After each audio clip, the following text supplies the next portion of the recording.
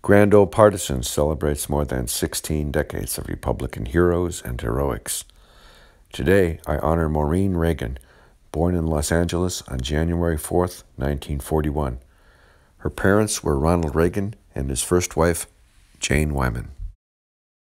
Beginning with Dwight Eisenhower's first campaign, Reagan enthusiastically campaigned for Republican candidates around the country.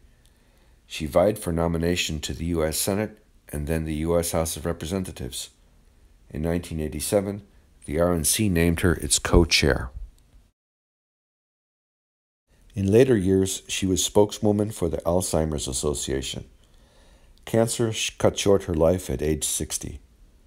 Nancy Reagan said Maureen had the 40th president's, quote, gift of communication, his love of politics, and when she believed in a cause, she was not afraid to fight hard for it.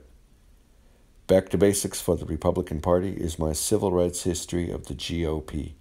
To quote the book, the more we Republicans know about the history of our party, the more the Democrats will worry about the future of theirs.